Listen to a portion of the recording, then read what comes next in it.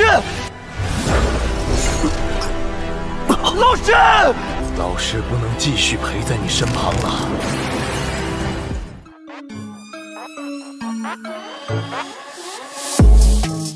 Halo para pecinta Battle Defense dimanapun kalian berada Gimana nih kalian para tetua yang masih anteng dengan kelanjutan perjalanan dari Mang Oyan? Udah siap kancut dengan perjalanannya? Kuilah kopinya diseruput, kita kancutkan perjalanan Mang Oyan dan selamat berimajinasi.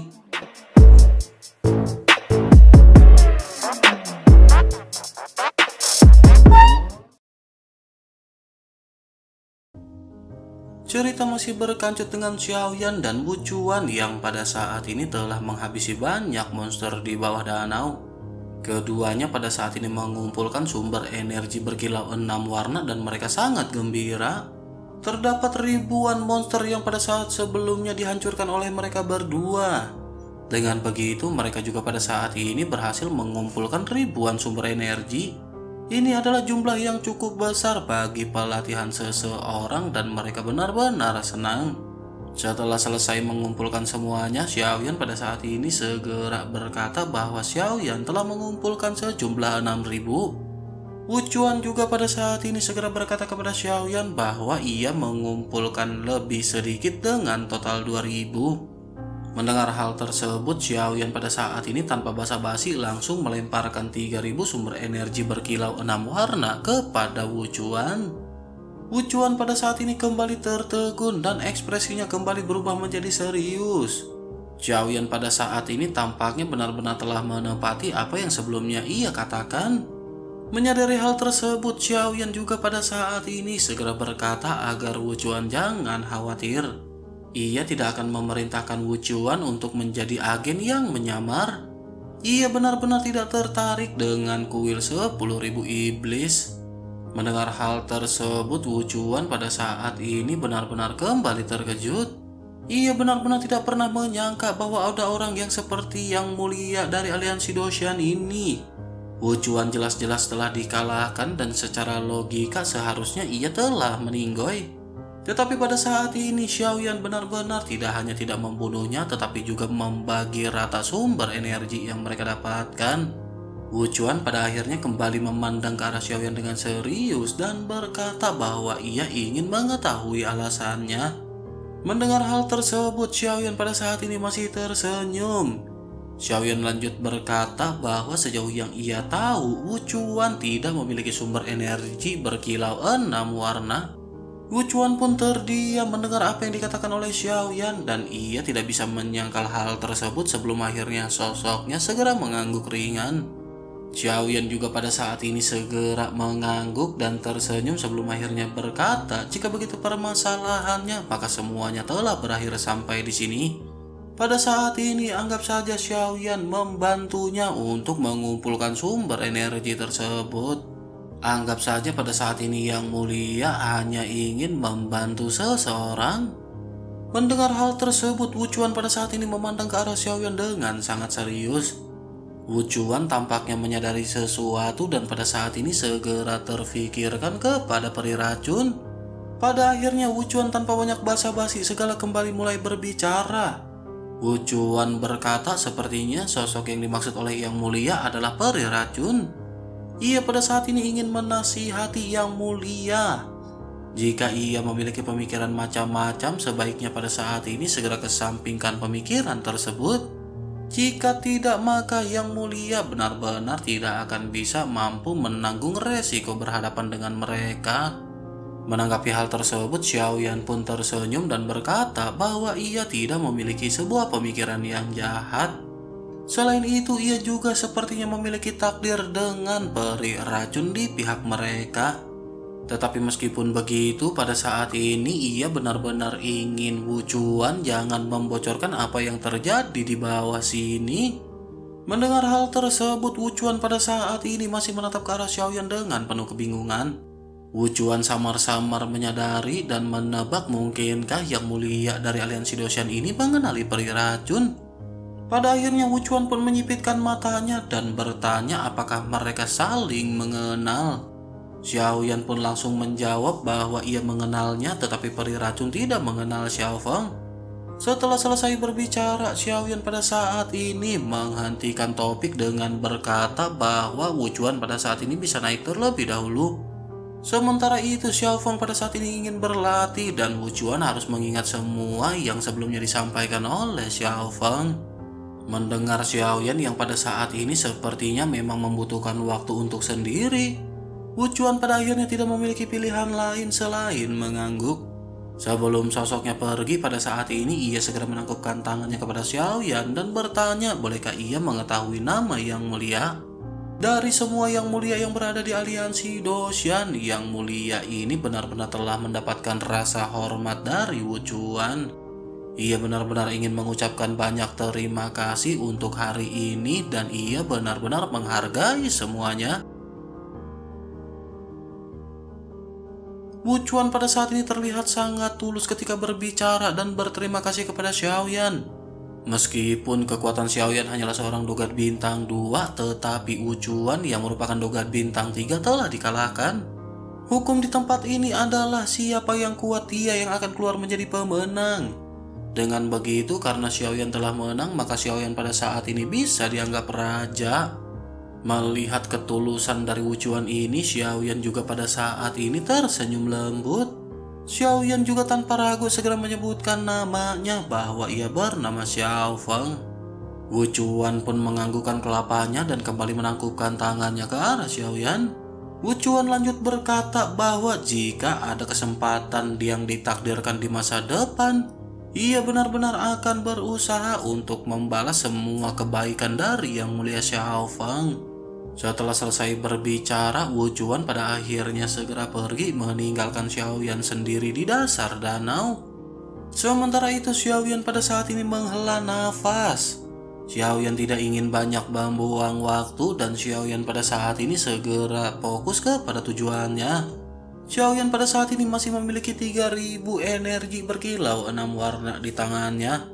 Dengan energi tersebut, maka hal ini benar-benar akan cukup untuk memberikan Xiaoyan kesempatan menerobos. Xiaoyan pun mempersiapkan semua yang pada saat ini Xiaoyan butuhkan. Xiaoyan tidak langsung memulai penerobosan dan Xiaoyan pada saat ini membentuk formasi guntur api surgawi terlebih dahulu. Setelah selesai, Xiaoyan pun duduk di tengah-tengah formasi dan pada saat ini Xiaoyan segera menstabilkan pemikirannya. Bagi Xiaoyan, proses ini adalah teknik fusi yang paling sederhana di dalam proses pemurnian obat. Oleh karena itu, tidak perlu waktu lama bagi Xiaoyan untuk menstabilkan pemikirannya. Xiaoyan pun menghela nafas dan pertama-tama Xiaoyan mengeluarkan pil energi berkilau tiga warna di tubuhnya. Xiaoyan juga segera mengeluarkan dua sumber energi berkilau enam warna. Setelah itu sumber energi enam warna ini segera diintegrasikan ke dalam pil. Pil sumber energi berkilau tiga warna ini pun berangsur-angsur meningkat hingga berubah menjadi empat warna dan lanjut naik ke enam warna. Perlahan-lahan pil origin Ki yang mengambang di hadapan Xiaoyan ini benar-benar terbuat dari pil origin Ki tiga warna dan enam warna. Xiaoyan pun merasa sangat senang, tetapi pada saat ini tujuan Xiaoyan adalah membuat pil sumber energi berkilau tujuh warna. Pada akhirnya dengan lambaian tangan Xiaoyan, lima sumber energi berkilau enam warna pun kembali dikeluarkan. Xiaoyan pun sedikit menyipitkan matanya dan bergumam mari mereka melihat apakah ada peluang untuk mencapai tujuh warna. Xiaoyan pada saat ini merasa sangat bersemangat merasakan energi yang sangat kuat yang mengelilingi Xiaoyan. Pada akhirnya Xiaoyan segera menekan perasaannya dan pada saat ini segera mengintegrasikan sumber energi berkilau enam warna ke dalam pil tujuh warna. Dengan masuknya lima sinar cahaya ini, maka pil sumber energi berkilau enam warna di hadapan Xiaoyan seketika berubah. Tampilannya menjadi semakin memsepona, tetapi sepertinya pada saat ini masih belum cukup sumber energi berkilau enam warna untuk membentuk ketujuh warna. Xiaoyan pun sekali lagi mengeluarkan lima sumber energi berkilau enam warna. Xiaoyan terus-menerus menuangkan sumber energi ini hingga pada akhirnya pil benar-benar meledak menjadi tujuh warna.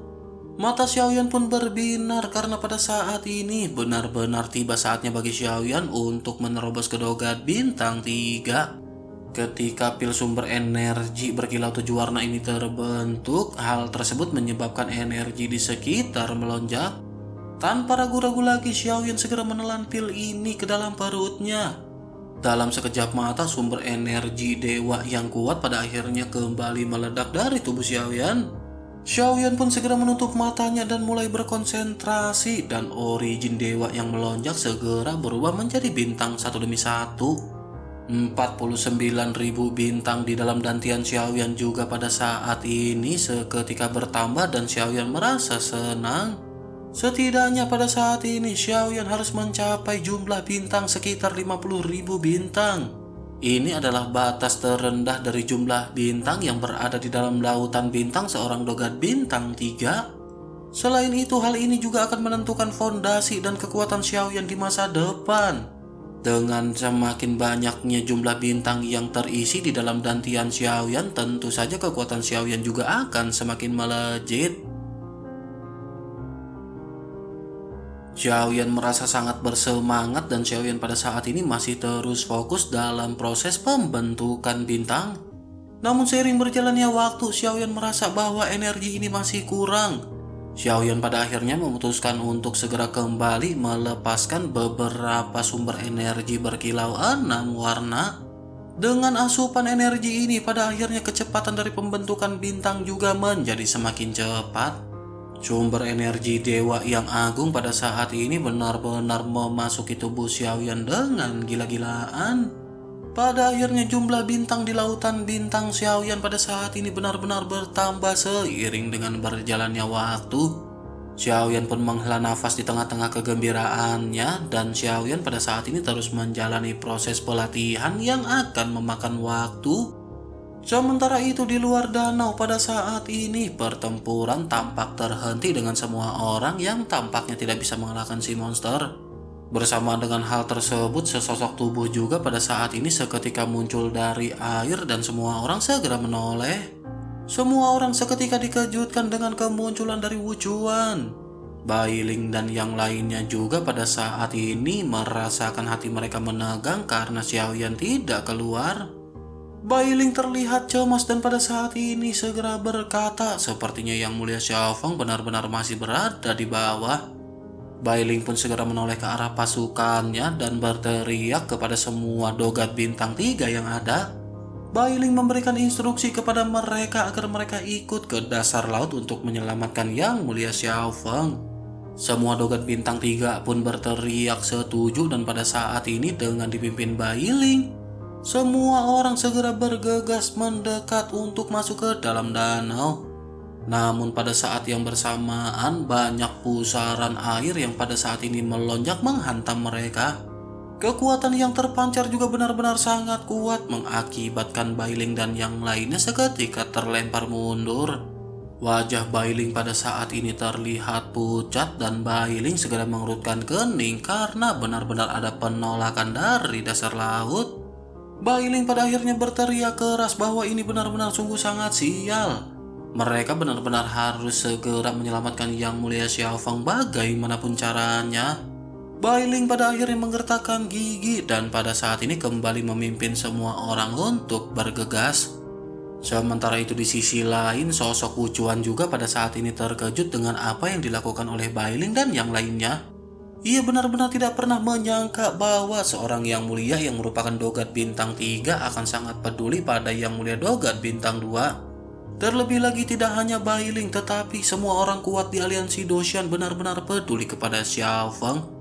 Ia benar-benar sudah lama tidak melihat pemandangan yang seperti ini dan ia pada saat ini merasa sangat tersentuh. Pemandangan yang seperti ini benar-benar sangat jarang terlihat di zaman ini. Kesetiaan yang seperti ini benar-benar sudah sangat jarang bisa ditemukan di seluruh 3000 alam. Pada akhirnya Wucuan pun menghela nafas dan pada saat ini setelah melihat Bailing yang beberapa kali mencoba dan berakhir dalam kegagalan, Wucuan pada akhirnya berteriak kepada Bailing dan yang lainnya agar mereka pada saat ini jangan bertindak bodoh dan menginginkan pergi untuk memokat. Mereka pada saat ini tidak perlu panik karena Yang Mulia Xiaofeng pada saat ini dalam kondisi baik-baik saja. Mendengar apa yang dikatakan oleh Wucuan, Bailing pada saat ini sedikit mengerutkan kening tetapi sosoknya sedikit mundur. Bailing pada saat ini menatap tajam ke arah Wucuan yang baru saja berbicara. Bailing tentu saja pada saat ini merasa ragu dengan apa yang dikatakan oleh Wucuan. Hal tersebut dikarenakan pada saat mereka bertempur melawan monster pohon ini, mereka tidak menemukan adanya jantung dan mereka merasa telah dibohongi oleh orang-orang dari istana 10.000 iblis. Bailing pada akhirnya lanjut berkata bahwa si pria pada saat ini sebaiknya jangan kembali memainkan trik. Mereka benar-benar menawarkan kerja sama tetapi pada akhirnya mereka hanya menipu orang-orang dari aliansi Dosian. Orang-orang dari aliansi Dosian benar-benar bertempur dengan sepenuh kekuatan mereka. Tetapi pada akhirnya mereka benar-benar tidak menemukan keberadaan jantung seperti apa yang disebutkan oleh si pria.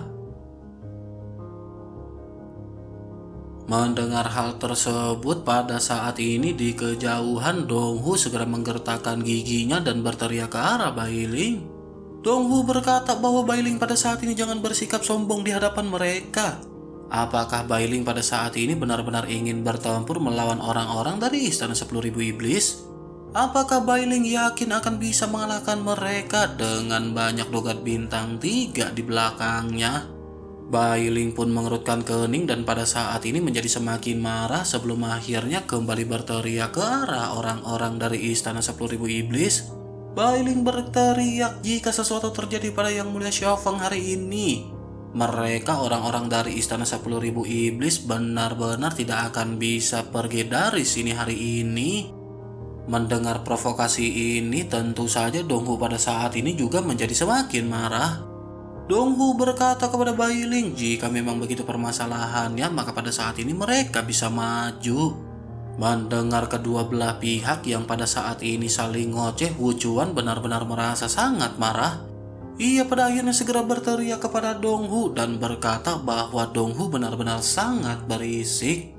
Teriakan dari Wucuan ini seketika membuat Donghu terdiam dan menatap ke arah Wucuan dengan aneh. Sementara itu Wucuan pada saat ini segera menoleh ke arah Bailing.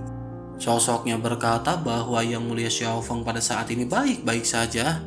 Bailing bisa yakin dengan apa yang pada saat ini ia katakan.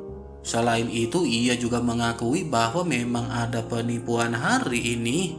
Tetapi pada saat ini dan mulai detik ini hidup si pria adalah milik dari Yang Mulia Xiaofeng.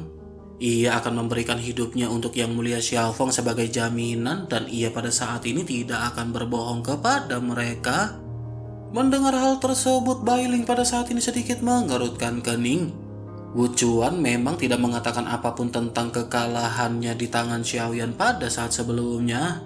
Tetapi dengan Wucuan yang mengatakan seperti itu, ia benar-benar telah menurunkan statusnya dan merendahkan wajahnya untuk Xiaoyan. Bailing juga pada akhirnya menghela nafas lega, tetapi Bailing pada saat ini masih memikirkan apa yang terjadi dengan Xiao Feng. Sementara itu kembali ke Xiaoyan yang pada saat ini masih melakukan proses penerobosan. Setelah banyaknya energi yang masuk ke dalam tubuh Xiaoyan, pada akhirnya lautan bintang Xiaoyan pada saat ini telah berjumlah 50.000 bintang. Cahaya bintang yang terang terus-menerus meletus dari lautan bintang Xiaoyan. Pada saat ini juga jiwa Xiaoyan seketika bergetar lagi dan Xiaoyan kembali mencapai ruang lain. Ini adalah kesengsaraan dewa yang unik yang akan dialami oleh setiap dogad yang menerobos. Xiaoyan pada saat ini masih berada di ruang yang rusak dengan kekacauan yang berada di sekelilingnya. Kesengsaraan dewa ini juga sepertinya bukanlah sebuah rekayasa acak. Sepertinya ini lebih ke sesuatu yang akan benar-benar berakibat langsung terhadap tubuh Xiaoyan. Xiaoyan pada saat ini menatap ke arah sekeliling dan pada saat ini Xiaoyan menemukan adanya sebuah perbedaan dengan kesengsaraan dewa sebelumnya. Pada saat sebelumnya ada satu jalan yang bisa ditempuh oleh Xiaoyan, tetapi pada saat ini terlihat ada dua jalan cahaya. Melihat hal tersebut, Xiaoyan pun seketika menyadari bahwa Xiaoyan pada saat ini sepertinya harus memilih jalan yang mana. Xiaoyan benar-benar bimbang antara harus memilih jalan kiri atau kanan. Xiaoyan juga tidak tahu apa yang akan Xiaoyan hadapi di masa depan setelah Xiaoyan memilih jalan ini.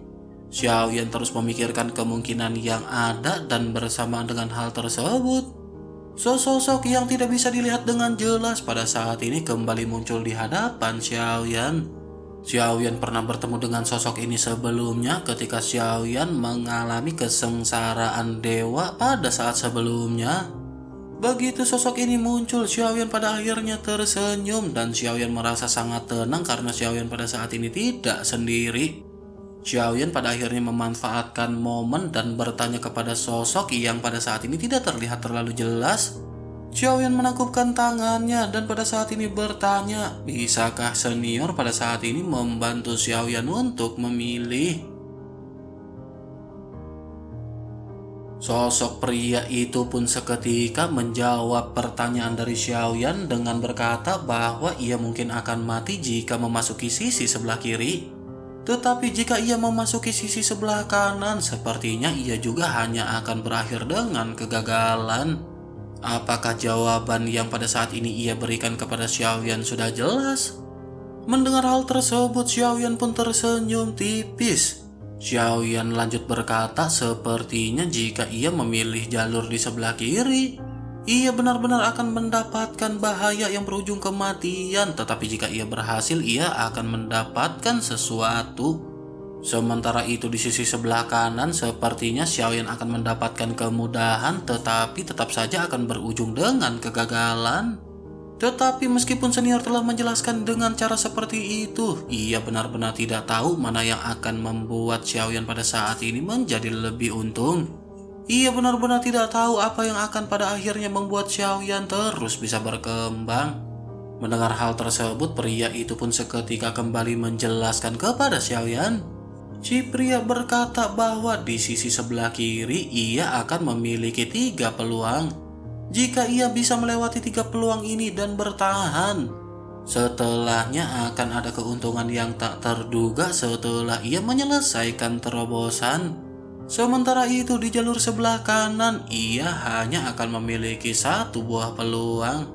Namun jika ia gagal maka ia benar-benar tidak akan memiliki makna di dalam hidup ini. Ia tidak akan mendapatkan bahaya di jalur kanan, tetapi ia benar-benar tidak akan mendapatkan keuntungan.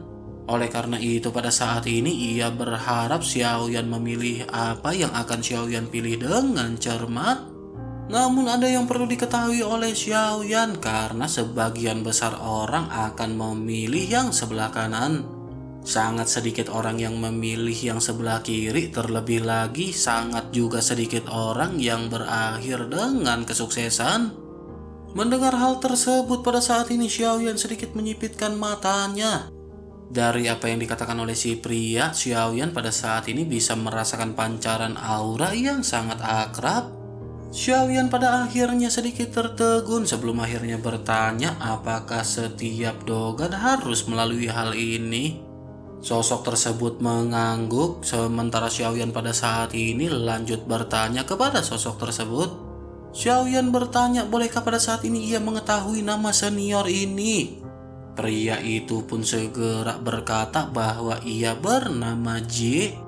Setelah selesai berbicara, naga petir yang tak terhitung jumlahnya seketika melintas di atas kelapa sosok tersebut.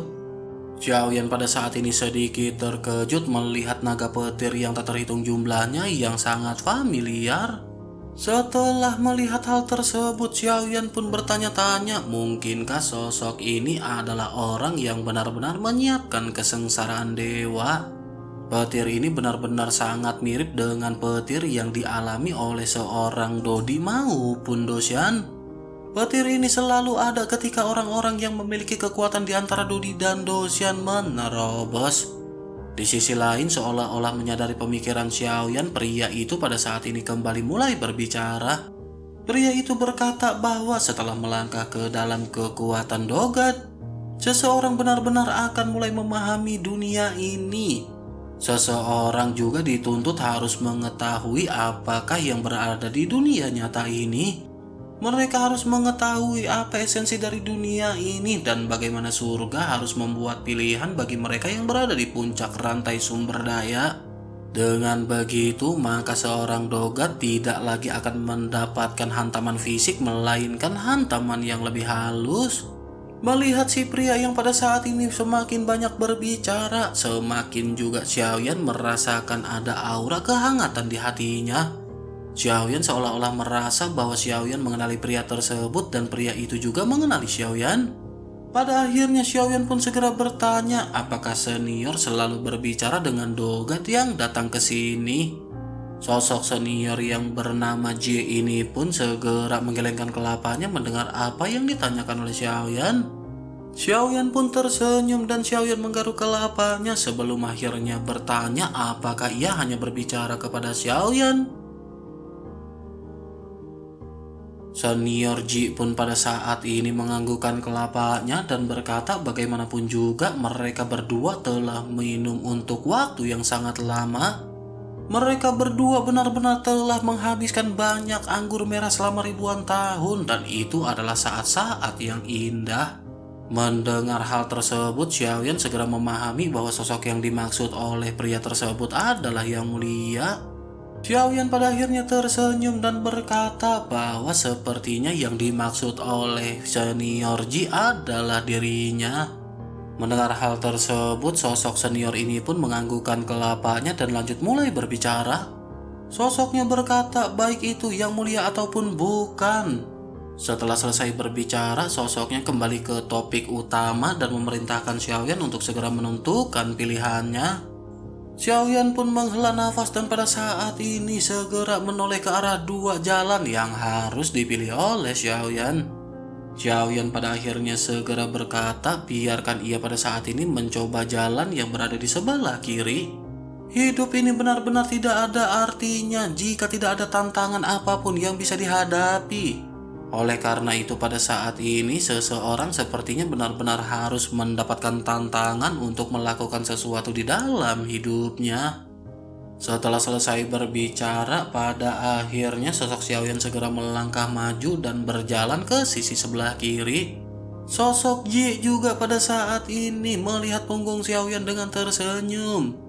Tampaknya ada rasa melankolis yang pada saat ini terpancar dari matanya ketika melihat Xiaoyan yang perlahan-lahan menghilang. Sementara itu kembali ke Xiaoyan yang pada saat ini setelah 100 langkah, Xiaoyan melihat sesosok yang memegang pedang besar dengan mengenakan baju besi berwarna hitam. Auranya benar-benar sangat kuat dan mendominasi dan Xiaoyan pada saat ini mengerutkan kening.